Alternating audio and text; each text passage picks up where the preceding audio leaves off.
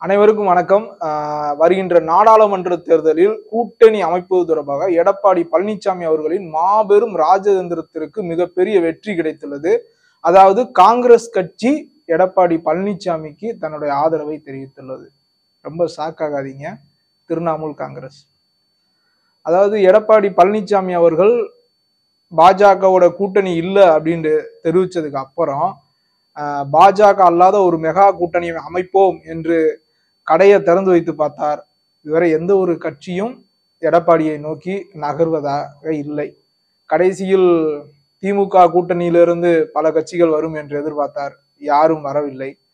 SDPI கூட்டணி கட்சி மட்டுமே எடப்பாடியோட கூட்டணி வச்ச நிலையில் தற்பொழுது பலருக்கு தெரியாது இப்படி ஒரு கட்சி தமிழ்நாட்டில் இருக்கா அப்படின்ற இது பலருக்கு தெரியாமல் இருந்த திரிணாமுல் காங்கிரஸ் கட்சியின் மாநில பிரிவு தலைவர் என்று ஒருவர் போய் எடப்பாடிக்கு தன்னுடைய ஆதரவை தெரிவித்து கடிதம் ஒன்றை கொடுத்துள்ளார்.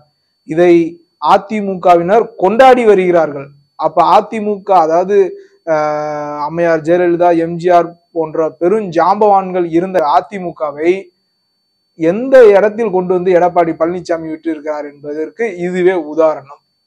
மேலும் பாத்தீங்கன்னா இப்ப வேட்பாளரும் கிடைக்காம அலைஞ்சுக்கிட்டு இருக்காரு. முதல்லாம் பாத்தீங்கன்னா இதற்கு முன்பு அம்மையார் ஜெயலலிதா இருக்கும்போது கட்சி அலுவலகத்துல வரிசை கட்டி நிப்பாங்க. போட்டிடுறதுக்கு எனக்கு சீட்டு உனக்கு சீட்டுன்னு யாரை பிடிச்சா சீட்டு கிடைக்குது. ஆனா இப்போது எனக்கு சீட்டு வேணாம் எனக்கு சீட்டு வேணாம்னு ஓடிக்கொண்டிருக்கிறார்கள். எடப்பாடி பழனிசாமி வேட்பாளரை தேடி அலைந்து கொண்டிருக்கிற ஒரு சூழல் மிக பரிதாபமாக இருக்குது. இன்னைக்கு அரசியல் களத்துல எடப்பாடி பழனிசாமி அவர்களோட நிலைமை பார்த்தீங்கன்னா ரொம்ப பரிதாபமா இருக்கு. இப்ப உதாரணத்துக்கு திருப்பரங்குன்றம் சட்டமன்ற தொகுதி உறுப்பினர் திரு ராஜன் செல்லப்பா அவர்களோட மகன் ராஜ் செட்டின்னு பார்த்தீங்கன்னா கடந்த கடந்த நாடாளுமன்ற தேர்தலில் மதுரை பார்லிமெண்ட்ல வந்து போட்டியிட்டு தோல்வியை தழுவினார் இம்முறை வந்து அதாவது அவருடைய தந்தை சட்டமன்ற உறுப்பினராக இருக்கக்கூடிய திருப்பரங்குன்றம் தொகுதி விருதுநகர் பாராளுமன்றத்துக்குள்ள வர்றதுனால விருதுநகர் தொகுதியில் இந்த வாட்டி எப்படினாலும் சீட் வாங்கி போட்டியிட்டணும் அப்படின்னு ஒரு கடந்த ரெண்டு வருஷமா வந்து பார்த்தீங்கன்னா தேர்தல் பணியாற்றிட்டு இருக்காரு பணியாற்றி வந்து கொண்டிருந்தாரு. யாரு? ராஜ் சத்யன் அவங்க வந்து தீவிரமா தேர்தல் பணியாற்றி வந்துட்டு இருக்கல இப்ப எனக்கு சீட்டு வேணாம் நான் வந்து எம்எல்ஏ எலெக்ஷனை ஃபேஸ் பண்ணிக்கிறேன் அப்படின்னு திடீர்னு அந்த பல்ட்டி அடிச்சிருக்காரு.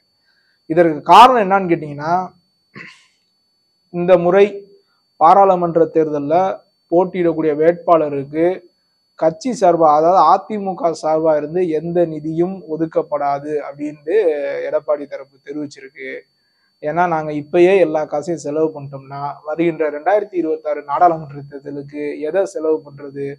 அதனால வந்து இந்த முறை சட்டமன்ற தேர்தலில் யாரு அவங்க சொந்த பணத்தை போட்டு செலவு செய்கிறார்களோ அவர்களுக்கு சீட்டு அப்படின்னு சொன்ன உடனேயே எங்களுக்கு சீட்டு வேணாம் என்- அதாவது எங்களுக்கு சீட்டு வேணாம் தெரிச்சு ஓடிக்கிட்டு இருக்காங்க. காரணம் என்னண்டா எவனாவது தான் சொந்த காசை போட்டு அதாவது வெற்றி பெறுவ வாய்ப்பு இருந்தாலும் சொந்த காசை போட்டு செலவு பண்ணி வெற்றி பெறலாம்.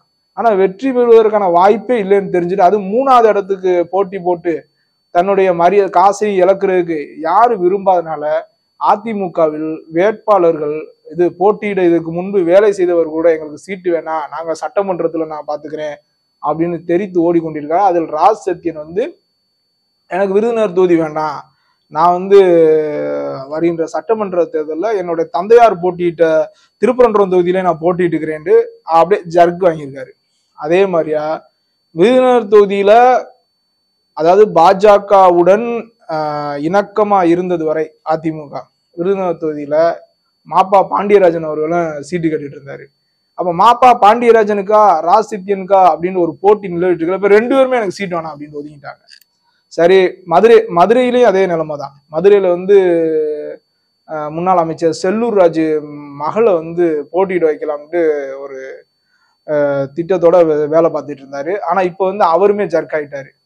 சம்பாரிச்சு இதுவரையும் சம்பாரிச்ச காசை திரும்ப போய் தேர்தலில் இது இழக்க விரும்பல. அப்ப என்னன்னா வெற்றி வாய்ப்பு இல்லை. மக்கள் வந்து இன்னைக்கு அலையன்ஸுக்கு யாரும் வரமாட்டேன்றாங்க. இது கருத்து கணிப்பு எல்லாமே பாத்தீங்கன்னா மூன்றாவது இடத்துல கௌரவமா பல இடங்கள்ல வந்து வாக்கு வங்கி மிகப்பெரிய அளவுல அதிமுகவுக்கு சரியும் அப்படின்னு வருது. அப்ப எல்லாருமே என்ன சுதாரிச்சு கொண்டு என்ன பண்றாங்க? இனிமே நாங்க வந்து எங்களுக்கு சீட்டு வேணாம் அப்படின்னு பின்வாங்குறாங்க இந்த நேரத்துல எடப்பாடி ஒரு கண்டிஷன் போட்டிருக்காரு. அதாவது யாரு செலவு பண்ணி அவ- அதாவது கட்சி நிதி கொடுக்காது யாரு செலவு பண்ணி போட்டிடுறாங்களோ அவங்களுக்கு சீட்டு அப்படின்னு முதல் ஆளா போய் மதுரை பாராளுமன்றத்துல நான் எத்தனை கோடினாலும் செலவு பண்றேன் அப்படின்னு முதல் ஆளா போய் நின்றது யார் தெரியுமா? நம்ம சர்வ கட்சி சரவணன். இவரை தெரியும் உங்களுக்கு தெரியும் சரவணன். டாக்டர் சரவணன் பாஜகவில் காலையில் சேர்ந்து மதியம் சீட்டு வாங்கினவர். இதுக்கு முன்னாடி மதிமுக பல கட்சியை சுற்றி வந்தவர். இப்போ இவர் வந்து என்ன பண்ணுறாரு நான் எத்தனை கோடினாலும் பார்லிமெண்ட்டில் செலவு பண்ணுறேன் எனக்கு சீட்டு கொடுங்க. ஆகா உன்னைத்தாயா தேடிட்டு இருந்தேன். எத்தனை இத்தனை நாள் எங்கேயா இருந்த அப்படின்ற மாதிரியா? எடப்பாடி பழனிசாமி அவர்கள் இந்த உனக்கு தான் சீட்டு அப்படின்ட்டு கன்ஃபார்ம் பண்ணிட்டதாகவும் தகவல் வருது. அந்த வகையில் ஒரு பலியாடாக டாக்டர் சரவணன் எடப்பாடி கையில் சிக்கியுள்ளார். பணத்தை இழப்பதற்கு. இன்றைய அரசியல் நிலவரம் இந்த நாடாளுமன்ற தேர்தலோட அரசியல் நிலவரம் எடப்பாடி பழனிசாமியோட தலைமையிலான அதிமுகவுக்கு இதான் நிலைமையா இருக்கு. அதாவது எந்த ஒரு கட்சியும் கூட்டணி அமைக்கவும் தயாராக இல்லை. மக்கள் வந்து வாக்களிக்கவும் தயாராக இல்லை.